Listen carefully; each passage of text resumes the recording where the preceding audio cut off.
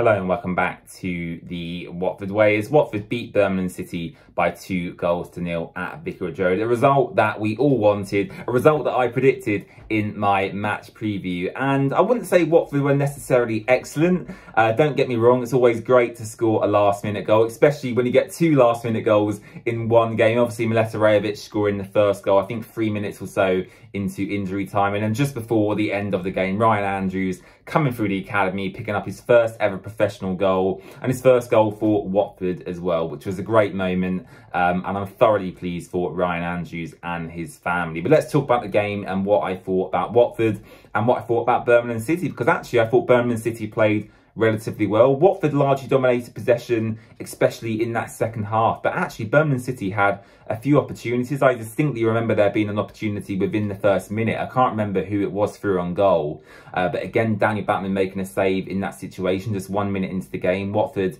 not concentrating maybe just after kickoff.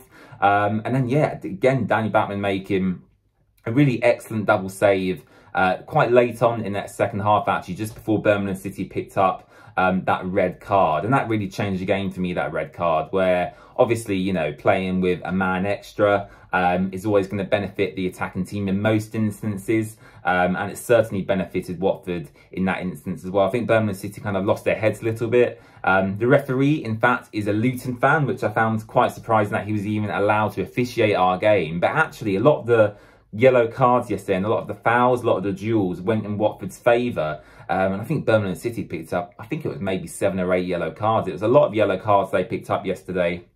And their fans have watched a few videos were getting increasingly frustrated by the referee. And I suppose they are correct in that sense. The game didn't flow maybe as it should have done.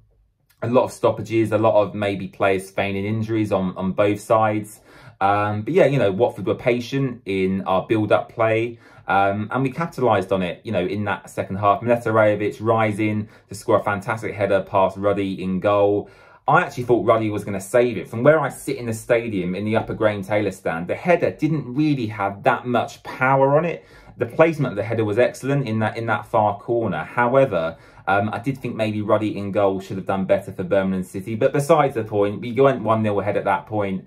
Um, and yeah, it was great to see Rajovic get his first Watford goal in front of the rookery end as well. The scenes in the rookery end um, looks absolutely fantastic. The limbs are fully back at the Vic this season, um, and I'm all for it. So congratulations to Mileta Rajovic. Um, and of course, as I mentioned earlier in the video, Ryan Andrews, the academy graduate, he's been with the club since he was nine years old.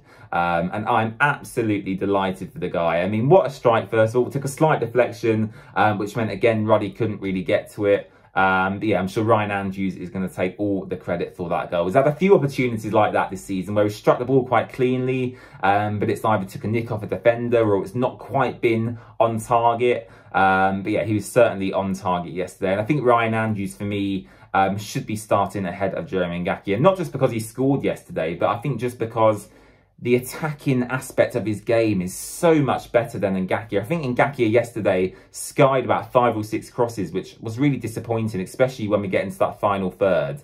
Um, and Ryan Andrews has that bit, bit, bit more pace than Ngakia, um, and I think is slightly more composed in terms of his crossing ability um, and his shooting ability in general. is really, really exciting to watch.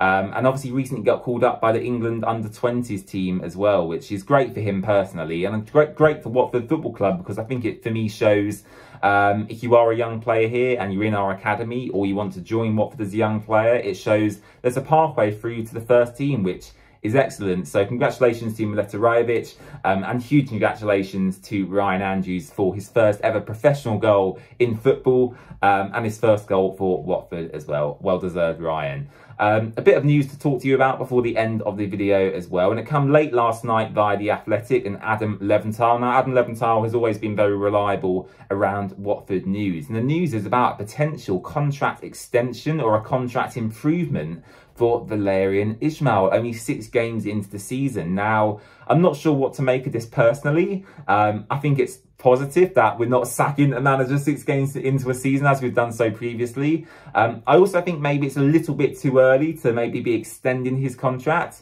I don't think he's done enough at the club to say he deserves that extension. Now, don't get me wrong. I think it's a positive that we are throwing our confidence at Valérien Ismaël. I think it's Um, from the hierarchy's perspective, from Gino Pozzo's perspective, he's clearly backing the manager he's brought in. Um, but from what I've read, I believe he signed a three-year contract anyway. So from my perspective, I would have just waited until the end of the season, see how we got on. Um, and then if he so deserves a contract extension by that point, then give it to him. Um, but to give it to him six games into a season um, is an interesting decision. It's not a decision I'm going to disagree with necessarily, um, but I do find it interesting that that's the way they've chose to operate. Um, yeah, giving him a contract extension this quickly into his tenure at Watford. But we'll have to see how that one de develops. But aside from that, I'm very happy. Um, definitely a lot of positives to take from the game yesterday. It took us a long time to break Birmingham City down, so that's full credit to their defence. Um, and actually, I think their goalkeeper could have done better on both goals, in fact.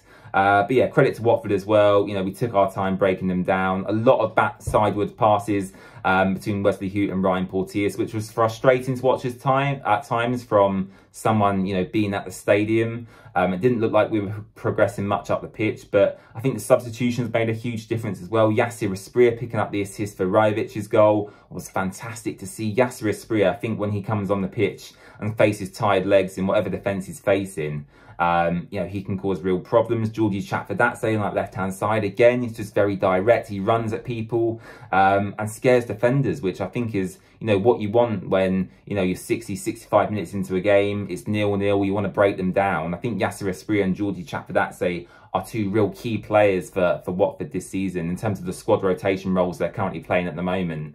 Um, and Ismaël Koné was another stand-up player for me when he came on the pitch. A big physical presence. Um, and yeah, one of his better games in a Watford shirt, actually. And before the two goals, I thought Tom Dele-Bashiru was Watford's man of the match. His ball carrying ability, his dribbling ability, um, picking out certain passes as well, I was very impressed with. So Tom Dele-Bashiru, um, before the two goals Watford scored, was probably my man of the match in the game. But yeah, as I said, positives to take from the performance. And we move on to West Bromwich Albion at Vicarage Road on Wednesday night under the lights. I'm not sure if it's televised, um, but yeah, I do like games under the lights at Vicarage Road. You can't get much better than that. But thank you so much for watching this video. Make sure to subscribe to our channel. Um, and yeah, the West Bromwich Albion preview will be out very, very soon. Thanks for watching and I'll see you soon. Goodbye.